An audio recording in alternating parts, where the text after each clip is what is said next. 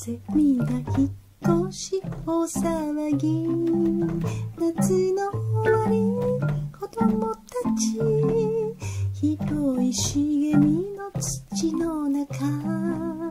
急げ急げと移動する。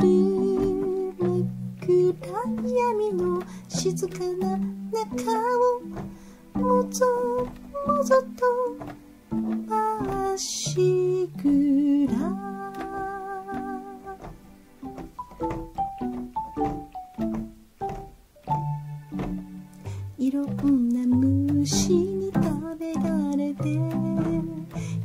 引っ越しできない時もある。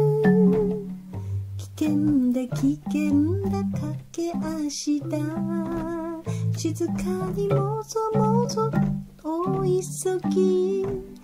お日様昇って明るくなったら体が焦げて真っ黒け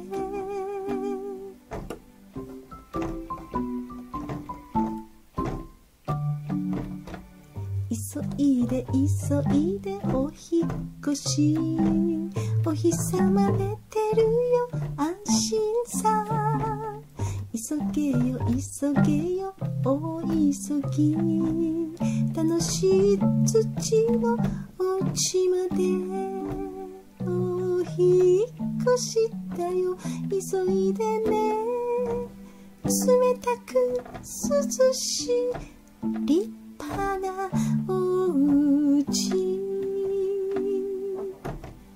のんびりゆっくりお勉強友達いっぱい見つかる夢